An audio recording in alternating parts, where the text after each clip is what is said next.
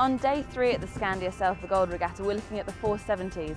In the men's fleet, the French are running away with the lead, but in the women's, it's much closer at the top. Japan are in first, the Netherlands in second, and France in third.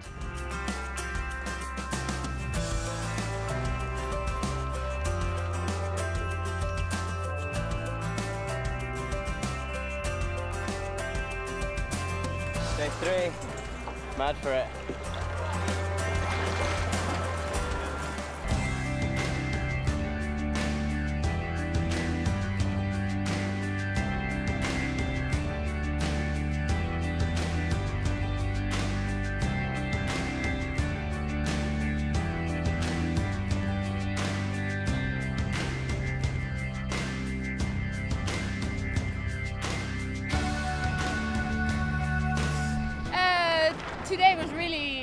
Interesting. We did uh, quite well.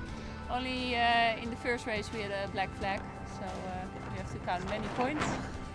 But the second we caught up from I don't know 30th until uh, first, so that was a great, great race.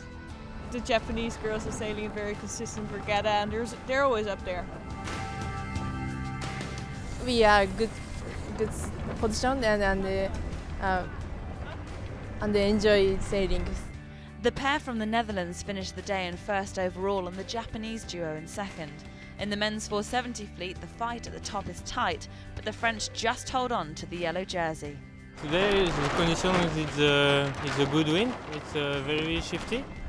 Uh, it's difficult for for for us because uh, the first race it's uh, it's uh, it's hard because uh, the bad wind for me, and after the the two race it's uh, it's good. I'm finished two. Uh, it's very good. So we're having a great regatta so far. Yeah, we've um, just finished the, the last day of the qualifying series. Um, so that's six races under our belt. We're just over the halfway stage of the regatta.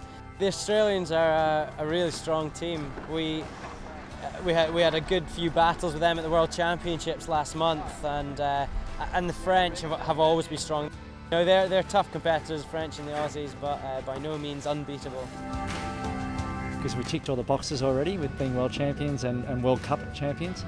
Um, so yeah, we've uh, I suppose just looking to really develop ourselves in the Olympic venue, um, and so far so good. It's day three, so three days to go. Hopefully we can keep it rolling. trying to get used to the English summer as well.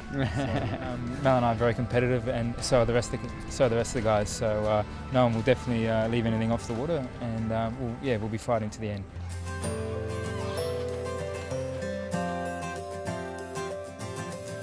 Excluding the women's match racing, tonight the results across the fleets will be tallied. So come day four of the Skandia Sail for Gold Regatta, the sailors will discover if they will be racing in the bronze, silver or gold fleet.